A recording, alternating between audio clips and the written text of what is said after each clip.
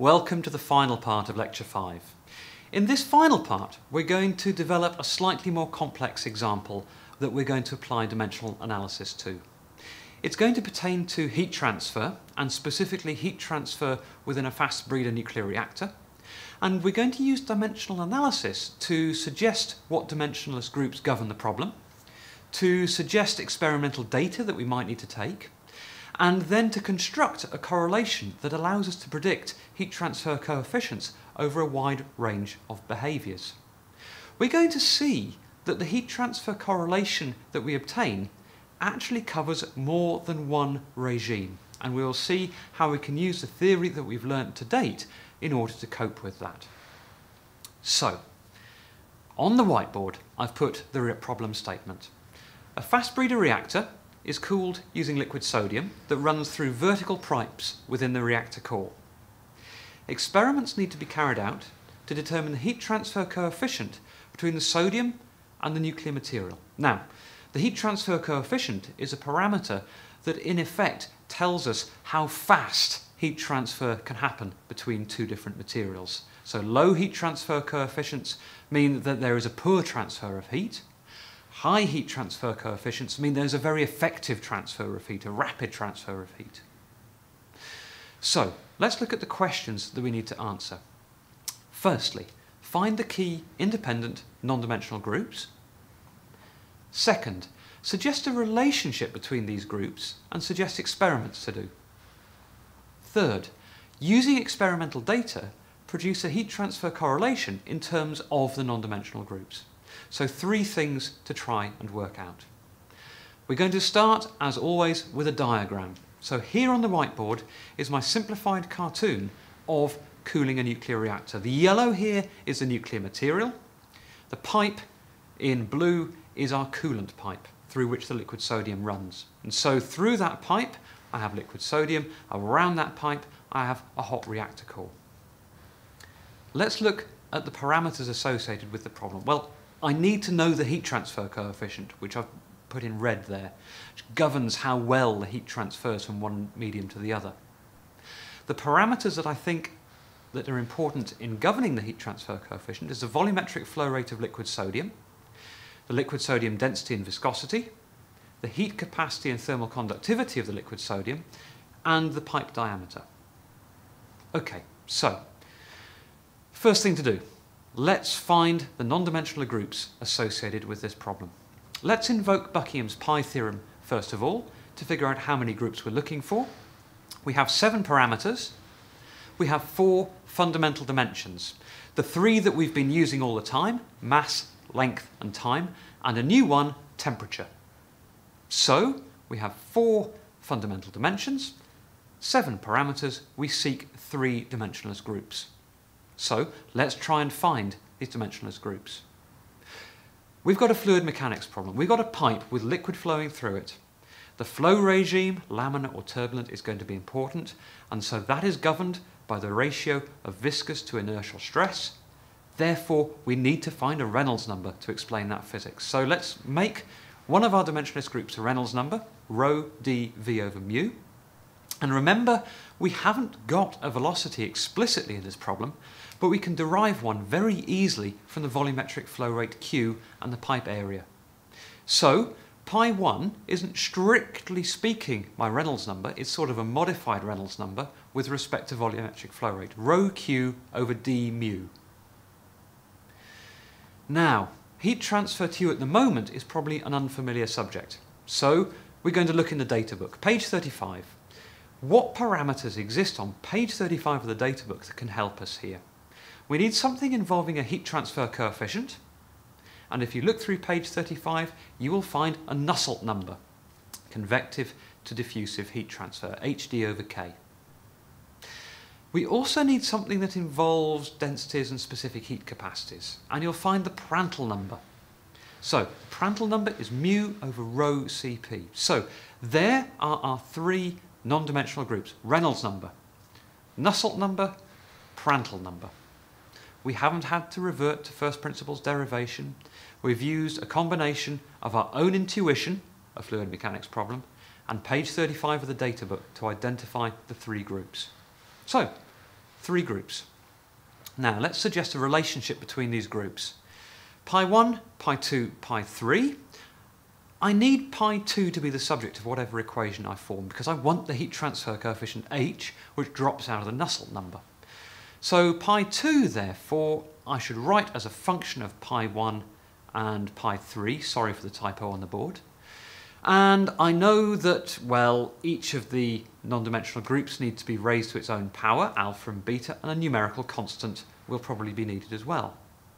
Of course, we know actually that is slightly incorrect.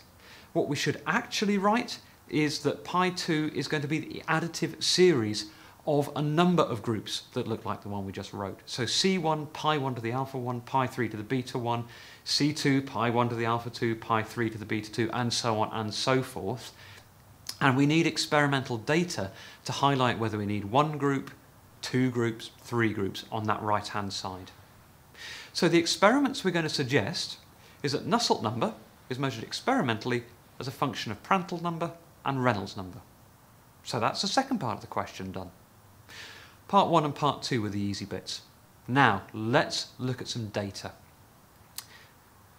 Suppose that our Prandtl number is fixed. If we look at how our Prandtl number is defined, it's mu over rho Cp. It's defined by the material. In this case, for liquid sodium at 400 degrees C, we have a Prandtl number of 0.0105. Now, strictly speaking, the Prandtl number is going to be a function of temperature because both density and viscosity will vary with temperature. So we could explore relationships of Prandtl number with temperature. However, for our purposes, we're going to assume that the nuclear reactor operates at a constant temperature. So we'll write that assumption down and we will assume our Prandtl number is fixed. And so all we have to do is look at the relationship between Nusselt number and Reynolds number. And here's some experimental data on the board. The experimental data are the single data points, and what do we see? We see over a range of Reynolds number 10 to 1000 that Nusselt number is pretty much constant. If we look at the y-axis, it's going to be around 5.6, very little variation. So over that range of Reynolds number, we're going to say there is no relationship. Our Nusselt number is more or less fixed and constant, it's around 5.5, between Reynolds numbers 10 to 1000. Think physically. What is the Reynolds number 10 to 1000 meaning in terms of our fluid flow? It means it's laminar. You will learn in future courses that laminar flow is rarely ever used for heat transfer. It's sometimes used on the micro scale, but never at large scale. And so you're unlikely to be in this regime for any practical design. So we need to look over a wider range of Reynolds numbers. So let's do that.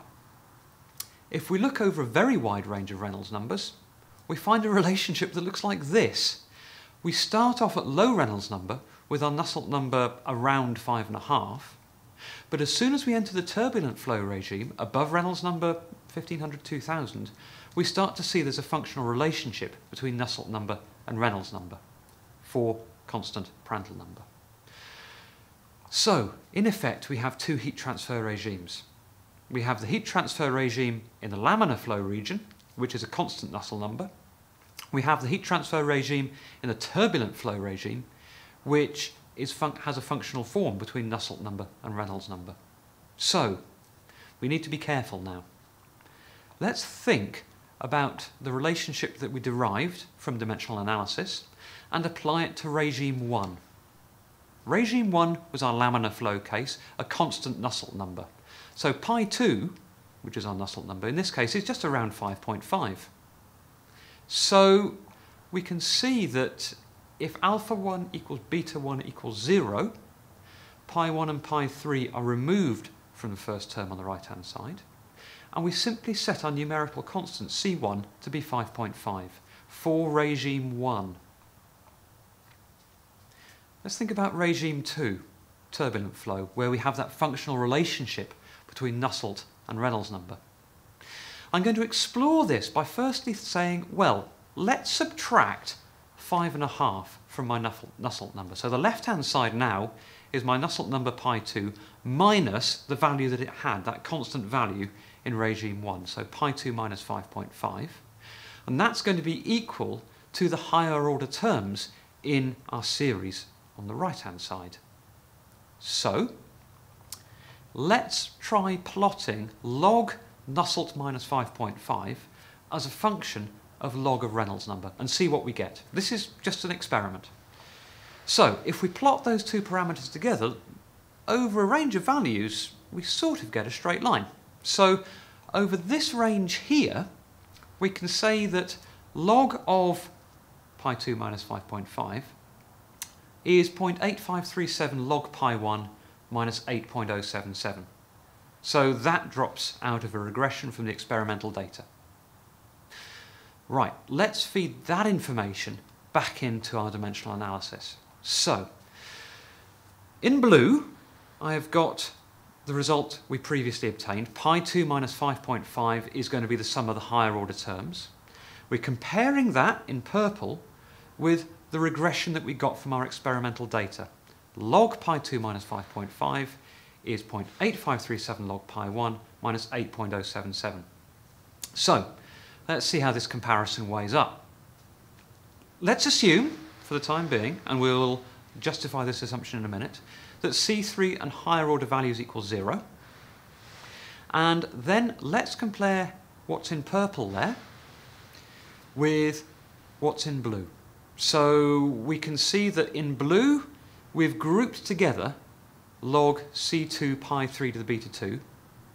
Pi 3 is our Prandtl number, which is constant. C2 is a constant. Beta 2 we're going to have to make an assumption about. But that's going to make up a number.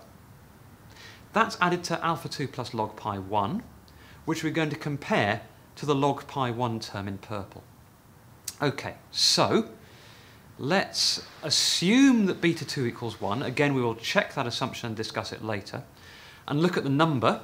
So on the left-hand side, we have minus 8.077. On the right-hand side, it has to be equal to log of that group of terms. We know an absolute value for pi 3. We've assumed a value for beta 2 that we'll discuss and check. And so what that gives us is a value of C2 of 0.0296. If we now look at the log term, alpha 2 log pi 1 has to equal 0.8537 log pi 1. Alpha 2 simply is 0.8537. So we've used experimental data manipulated the expression we obtained from dimensional analysis, compared the two, made a couple of assumptions that we need to check, and revealed a number for pi 2, c2, alpha 2. So, there's my theory from dimensional analysis. Let's use the information we've just obtained to create our correlation. So, pi 2, don't forget, was my Nusselt number. Let's put the 5.5 on the right hand side. Pi 1 and pi 3, we know are Reynolds and Prandtl numbers. We know their indices and we know the constant C2. So this is the correlation we're proposing, having made a couple of assumptions. We've assumed that the index of Prandtl number is 1, and we've assumed that terms involving C3 and higher are negligible. So, what are we going to do? Well, we'll look in the literature and we'll compare this result with a literature result that looks different, which might make us a little downhearted. Let's plot the two out. So, the literature correlation is in blue, the correlation we've derived is in brown, and they overlay almost perfectly. This is good. So our dimensional analysis has been correct, but let's revisit the assumptions that we made, specifically that beta 2 equals 1, which was the power of the Prandtl number. In literature, actually, there's another dimensionless group that gets used. Rather than using Reynolds number and Prandtl number individually for heat transfer problems, they're actually merged together to form something called a Peclet number, which we're not going to worry about on this course. But what that means is that the index for the Reynolds number and the index for the Prandtl number should actually be the same, and we chose them to be different, which is why we got a different value for our numerical constant. However, the method and the analysis that we used was perfectly good and gave us a good answer. So we're able to construct a correlation to predict heat transfer in fast breeder nuclear reactors. Let's recap a few key points. This example was intended to demonstrate all the techniques that we've developed so far. Many physical processes can have more than one regime. Please remember that. The only way to discover how these regimes change, or whether even they exist, is plot out experimental data. You can use dimensional analysis to inform your experimental design, which we did in this example. And if we're careful about how we process that experimental data, we can feed that back into dimensional analysis to produce a correlation that gives us predictive capability for physical phenomena.